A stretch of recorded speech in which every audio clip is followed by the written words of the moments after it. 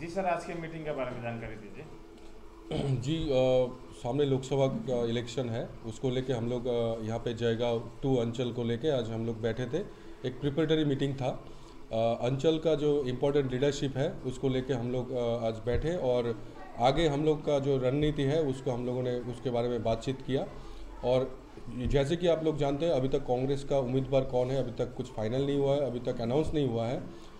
जब तक अनाउंस हो जाएगा तब तक तब तक के लिए हम लोग यहाँ प्रिपरेटरी मीटिंग हर जगह में कर रहे हैं और जो भी कैंडिडेट होगा, उसके लिए हम जी, हम लोग जी जान से, जी लड़के हम उसको जिताएँगे और यहाँ पे बीजेपी और तृणमूल को एक इंच ज़मीन भी हम लोग नहीं छोड़ो, छोड़ेंगे। उसके बारे में ही हम लोगों ने आज रणनीति तैयार किया है।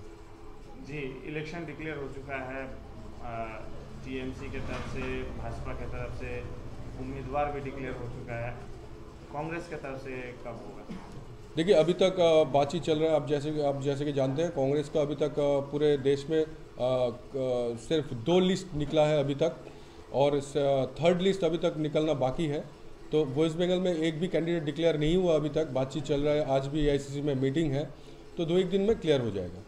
जी। आ, बाकी जो पार्टियाँ हैं जिनका उम्मीदवार घोषित हो चुका है वो कैंपेनिंग करना इलेक्शन कैंपेनिंग में उतर चुके हैं प्रचार प्रसार में उतर चुके हैं अभी तक आप लोग वो नहीं कर पा रहे तो कितना फ़र्क पड़ेगा?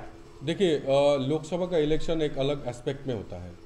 यहाँ पे एजेंडा के ऊपर वोट होता है। ये लोकल बॉडी इलेक्शन नहीं है कोई कैंडिडेट को कौन पहले उतरा है किसका फेस वैल्यू ज़्यादा है ऐसे नहीं है। ये देश का निर्वाचन है और आ, कौन सी पार्टी क्या एजेंडा लेके इलेक्शन में उतरा है उसके ऊपर लोग वोट करेंगे। तो कांग्रेस का एजेंडा साफ़ है, आप लोग जानते हैं। राहुल गांधी पूरे देश का दौरा कर रहे हैं, नए यात्रा निकाल, निकाले हैं और इतना रेस्पॉन्स ह्यूज रेस्पॉन्स मिल रहा है राहुल राहुल जी को।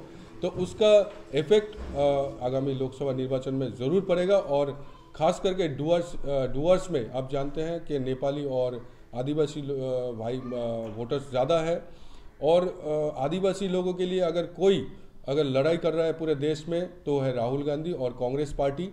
और नेपाली गोरखा जनजाति जो है, वो गोरखा जनजाति के लिए अभी तक बीजेपी पहाड़ से इतना वोट लिया है, दो एमपी हो गया है, अभी तीन बार होने वाला है। तो ये दस सालों में बीजेपी पहाड़ के लिए कुछ नहीं किया, नेपाली और गोरखा गोरखा के लिए कुछ नहीं किया, गोरखा जनजाति के लिए जो भी कुछ किया है, वो कांग्रेस ने किया है। नेपाली भाषा का जो स्वीकृति है, वो कांग्रेस ने दिया है। गोरखा टेरिटोरियल एडमिनिस्ट्रेशन जो दिया है, वो कांग्रेस ने दिया है। और जो भी है गोरखा रेजिमेंट जो है कांग्रेस ने दिया है। तो अभी वो महसूस कर रहा है गोरखा गोरखा गोरखा जनजाति लोग के कांग्रेस सही में बीजेपी हम लोगों को बुद्धू बनाया है उल्लू बनाया है हम लोगों को कुछ नहीं दिया है। और जो भी दिया है वो कांग्रेस पार्टी को दिया है।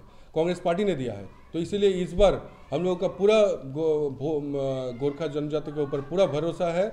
और आशा भी है कि कांग्रेस की तरफ़ वो वोट करेंगे और कांग्रेस को आशीर्वाद करेंगे। देखा जा रहा है कि कुछ दिनों से लगातार दल बदल का कार्यक्रम चल रहा है। काफ़ी सारे कांग्रेस के नेता कांग्रेस के पंचायत मेंबर भी दूसरे दल में जा रहे हैं तो कितना फ़र्क पड़ेगा? देखिए, जो दल बदल कर रहा है, वो जिसने वोट किया, उसको लेके नहीं जा रहा है। वो खुद अकेले जा रहा है। तो पब्लिक मैंडेट जो है, वो कांग्रेस के साथ है, क्योंकि वोट कांग्रेस को देख के किया किया था वो लोगों ने। ये ये पश्चिम बंगाल में हम लोग 40 साल से पावर में नहीं है। फिर भी अगर आम आदमी कांग्रेस के लिए वोट करता है मतलब कांग्रेस के ऊपर विश्वास भरोसा करके कांग्रेस को, कांग्रेस का जो सिंबल है, उसको देख के वोट किया। तो वो आदमी, वो पंचायत मेंबर अगर दूसरे पार्टी में जाता है, उससे कोई फ़र्क नहीं पड़ेगा। तो जो वहाँ का जनता है, वो कांग्रेस के ऊपर ही भरोसा रखेगा। कितना आशा लगा के रखे हैं इस देखिए इस बार इस बार हम लोगों का भरपूर आशा है और इस बार टफ फाइट होगा। बीजेपी और तृणमूल जितना इसको आसानी से ले रहा है उतना आसान इलेक्शन नहीं होने वाला है। जी आपका नाम Shantanu Debnath working president Alipur district Congress committee. Chillfest offer running at Reliance Digital. Jaigaon special offer on AC 1 ton 3 star AC starting from 22,990 rupees and 1.5 ton 3 star AC starting from 26,990 rupees. Grab the offer now. Visit Reliance Digital, Modern House Building, NS Road, Jaigaon.